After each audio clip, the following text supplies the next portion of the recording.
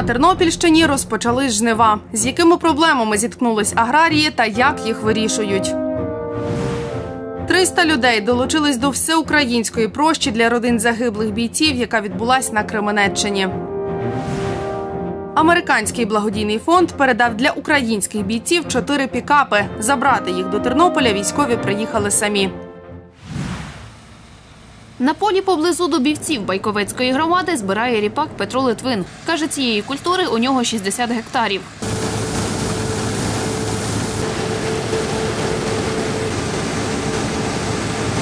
Збираємо ріпак, часи зараз важкі, і погода нам теж ставить, як би сказати, свої перешкоди. Маємо сьогодні сонячний день і стараємося зібрати. Загалом Петро із трьома працівниками обробляють приблизно 300 гектарів полів. На землі розповідає, посіяли сою, ячмінь, кукурудзу та пшеницю. Її молотитиме після ріпаку. На запитання, куди збуватиме урожай, відповідає так. Це до ворожки треба з таким питанням звертатися, але не до аграрія в теперішній час. Зараз стоїть перше питання це його зібрати, а потім вже будемо бачити. Звісно, будемо старатися знайти кращі шляхи, бо якщо їх не знайдемо, то це буде, це буде дуже, дуже важко і дуже проблемно, бо тому що ріпак це дуже затратна культура. І тут, якщо взяти сьогоднішню місцеву ціну ринкову, то це мінус 10 тисяч гривень в гектарі.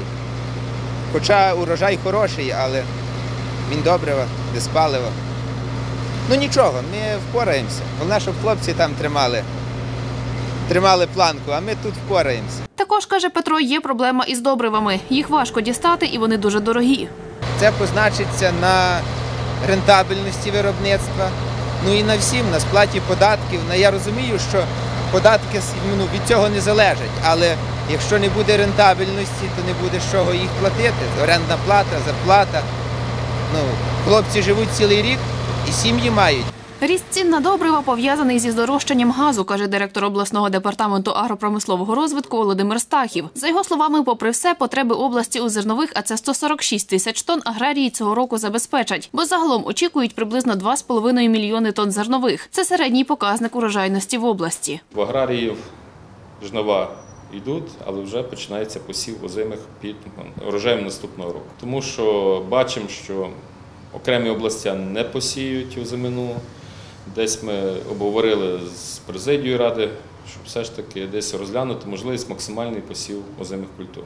Проблема одна єдина це азотні добрива. На сьогоднішній день через вартість газу, дорогу вартість газу, азотні добрива дуже дорогі.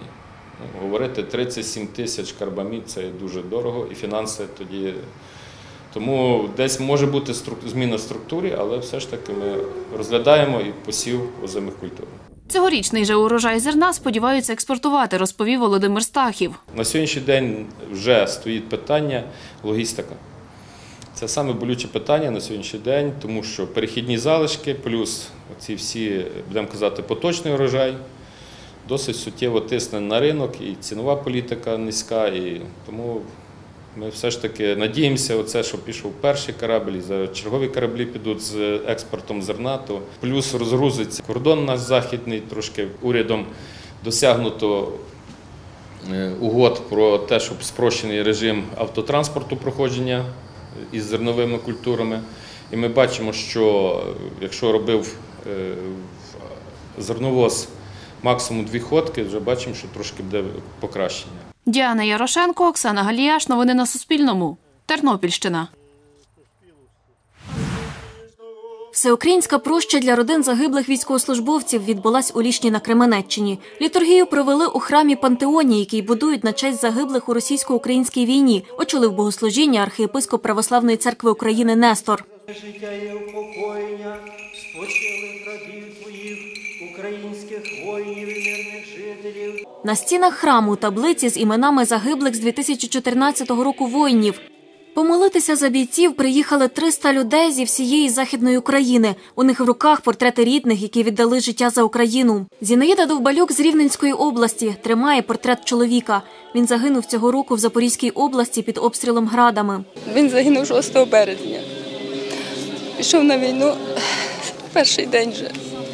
Бригада 128 Закар- Закарпаття. Він служив до того, був е, з 19-го року. в цій бригаді. І до Нового року я контракт закінчився, вже два з половиною роки був. А оце як війна почалася, він пішов знову. Йому мало виповниться в листопаді 60 років. Але він не міг бути вдома, він пішов. Загинув. Наталія Якубовська приїхала з Кам'янця-Подільського. Також згадує свого чоловіка. Його фото на футболці. Він був добровольцем, загинув біля Донецького аеропорту в 2015 році. Наталія каже, з Кам'янця-Подільського на прощу приїхали 16 людей. У нас ціла команда. Я очолюю організацію сімей загиблих та поранених в АТО. Е, І привезла сюди батьків, е, дружин, і привезла дітей також сюди помолитися за наших воїнів. Заради свого чоловіка і не тільки заради свого чоловіка, за всіх хлопців, які загинули. Прийшла на прощу родина військового кореспондента Дмитра Лабуткіна. Він родом з Кременеччини, загинув під час боїв за Дебальцеве. Нині служить і його батько Віталій. Гордимося, звичайно, своїм сином, героєм. Згадуємо всіх полеглих тут героїв е, цієї війни, тому що пам'ять про них е, буде завжди залишатися, і вони будуть завжди залишатися в наших серцях живими. Ми повинні пам'ятати. І ця пам'ять це пам'ять для прийдешних поколінь. І, мабуть, таке якесь патріотичне виховання молоді, та яка зростає на подвигах наших героїв. Вони повинні їх пам'ятати, не забувати. Пам'ять Діми, але і е, тато, його брат і племінник пішли далі захищати. На жаль, війна продовжується. З 14-го року війна. Ми так рахуємо, що це війна. І боронять нас, боронять нашу землю. Щира подяка всім військовим. Після літургії рідні загиблих і військові поклали квіти до пам'ятного хреста.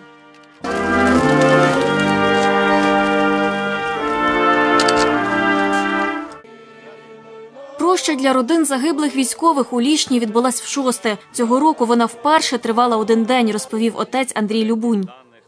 Ця проща за- завжди відбувалася три дні: 5, 6, 7, 7 на Успінні Святої Праведної Анни. Вона в нас завершувалася. Ми старалися родинам приділити за цих три дні багато уваги.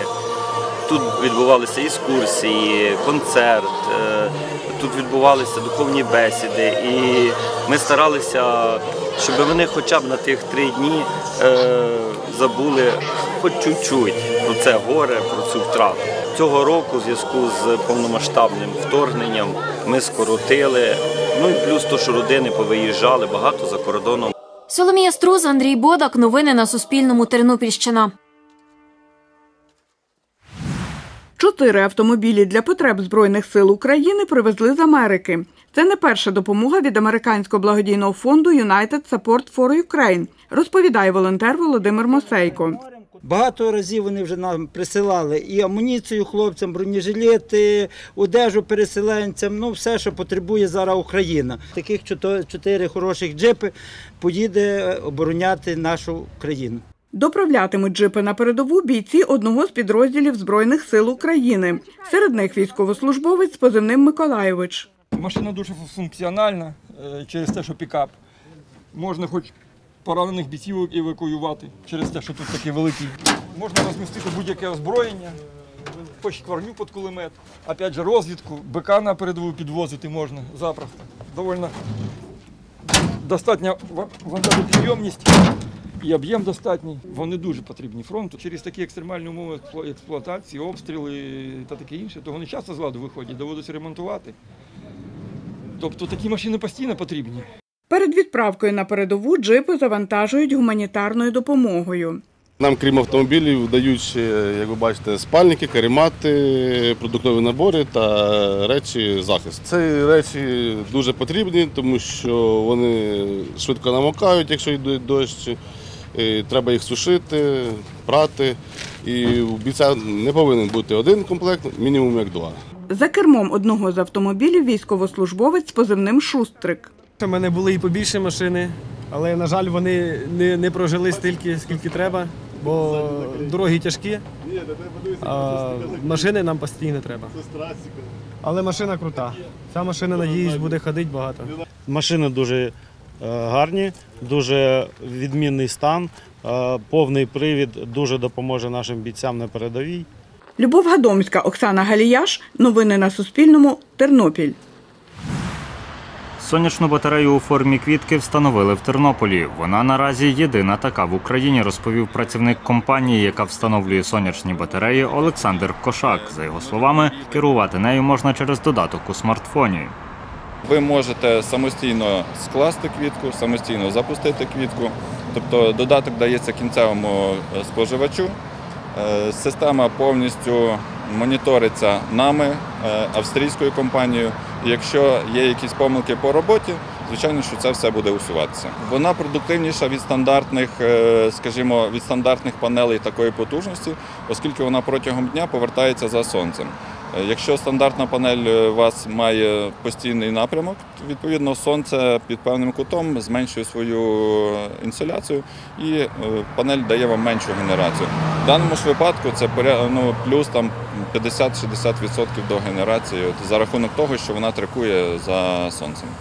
Керівник компанії зі встановлення сонячних батарей Михайло Федишин розповів, така батарея генерує електроенергію у будь-яку пору року. Під час роботи вона пристосовується до погодних умов. Її унікальність в компактності, її унікальність в тому, що вона займає 2 квадратних метри на ділянці, а забезпечує територію біля 10 сотих, якщо це привести в інші ці.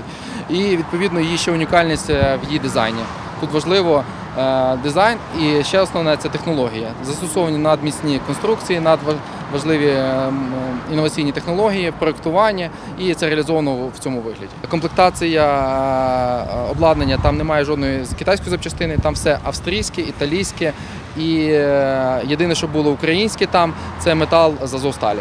І враховуючи ситуацію в Азовсталі, метал зараз е, замінений буде на якийсь інший виріб, але все тут е, Європа, Америка. Сонячна батарея в Тернополі частково забезпечує електроенергією чотириповерховий будинок. Тарас Бурак, Андрій Прокопів. Новини на Суспільному. Тернопіль. Укрзалізниця відновила рейс потяга, який курсував до Карпат через Тернопіль. Це потяг з полученням Київ Ясіня. Про це повідомили на сторінці Укрзалізниці у Фейсбуці. Поїзд вирушатиме з Києва щоденно о 15.02. На станцію Ясіня прибуватиме о 7.11. Квитки уже доступні у касах вокзалів та онлайн. У Тернопіль поїзд прибуватиме о 22.55. Студенти історичного факультету Тернопільського педагогічного університету виготовляють маскувальні сітки 8 років. Перші сітки виготовили, коли на схід воювати пішов професор університету Іван Зуляк. І далі дзвонить з фронту, каже, там маскувальні сітки. Ось, і ми перші сітки відправили. Володимир Кіцак розповідає, за весь час виготовили 750 сіток, а це більше 25 тисяч квадратних метрів. Ними можна замаскувати 770 БТРів. Тканини зеленого та коричневого кольорів не завжди є у магазинах, каже волонтер, тому вирішив фарбувати самостійно. Робить це за допомогою промислової пральної машини, яку придбали волонтери. На машинку йде 200 грам фарбника. Ось які попередньо треба розчинити. Тако година часу йде кипятіння в машинці. Далі витягнули, акуратно розвісили, склали. За один раз фарбує 15 кілограмів тканини. Стільки може вмістити машина. Такої кількості каже, вистачає, щоб виготовити одну маскувальну сітку. Фарбує переважно у зелені та коричневі кольори різних відтінків, враховуючи місцевість, у яку потрапить сітка. Простий звичайний зелений колір. Ну, донедавна був затребуваний, найбільш затребуваний, його давали десь до 60% на кожну сімку. Далі колір хакі або койот. Зараз він найбільш затребуваний, тому що схід вже вигорів, тим більше йде осінь. Для фарбування, каже, підходить стара постільна білизна, скатертини, одяг із натуральних тканин. Використовує спеціальну фарбу українського, італійського та німецького виробництва. Ці базові кольори я в різних пропорціях собою мішаю, і кожен раз я отримую той колір, який я хочу. Якщо не виходить, переварюю ще раз. Кілограм фарби е, коштує від 600 гривень це сумська до півтори тисячі німецька італійська. Два місяці тому Володимир Кіцак оголосив збір коштів для придбання фарб. За добу надійшло 20 тисяч гривень. Кошти продовжують надходити, каже волонтер. А потреби у маскувальних сітках поки не зменшуються. Лілія Лобур, Андрій Прокопів. Новини на Суспільному. Тернопіль. Бандуристка з Чорткова Лідія Бойків записує відео для своєї сторінки у TikTok. Сьогодні обрала локацію біля Чортківського замку. Хлопи кажуть, жінки відьми, та вони не знають, що ті відьми дуже добрі, якщо їх кохають. Зараз за сторінкою Лідії слідкують понад 140 тисяч людей. Її відео набирають десятки тисяч переглядів і сотні коментарів. Дівчина каже, розпочинала вести TikTok рік тому, публікуючи там українські народні пісні. Українські народні не залітали, тобто не залітали в рекомендації, це по тіктоківському, не набирали переглядів, якщо так сказати. І потрібно було придумати якусь фішку. І я придумала те, що знімати про імена, якісь жартівливі. Пісні. Там буквально чотири рядочки пісень, але людям це подобається і воно набирає мільйони переглядів, що дуже дивно. Тобто не знаю, чому якісь розумні відео, якісь такі пісні давні з бандурою не набирають, а от таке жартівливе набирає. Ну я ще до сих пір цю загадку не, не розгадала. Пісня про А і дівки за ним гонять, а він полюбив одну, каже, що то доля. Лідія Бойків також знімає ролики для TikTok разом зі своєю бабусею. У них бабуся дає різноманітні поради. Одне з таких відео набрало майже 2 мільйони переглядів. Що б не їв, що б не робив, це твій чоловік і ніхто не повинен знати. Так, ти повинна е, до нього сама липнути, а він придивиться. Велику роль у моїх відео відіграла ще моя і бабуся, тому що з нею відео також е, почали залітати, почали набирати мільйони переглядів, мільйони плюс переглядів. І тому моя бабця мені також дуже надзвичайно допомогла набрати певну аудиторію. Ми з нею також співаємо пісні, співаємо пісні двоголосся, що дуже подобається людям. Допомагають знімати відео для TikTok подруги та хлопець, каже Лідія Бойків. Інколи це робить сама. Локації зазвичай у місті Чорткові. Я обираю так, щоб був красивий фон, щоб була якась природа. Інколи просто у себе вдома знімаю. Так, от придумала якийсь прикольний текст. Крутий і відзняла вдома. Але зазвичай хочу, щоб це було гарно, щоб люди оцінили. Тарас Бурак, Василь Панчук. Новини на Суспільному. Тернопільщина. Україно, тримайся, ненько, завжди з тобою, моє серденько. Пес із ДСНС Патрон інформує.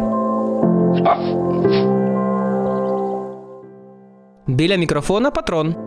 Щодня я винюхую вибухові предмети на різних територіях. І хочу розказати вам, наскільки підступно діяв наш ворог, залишаючи їх.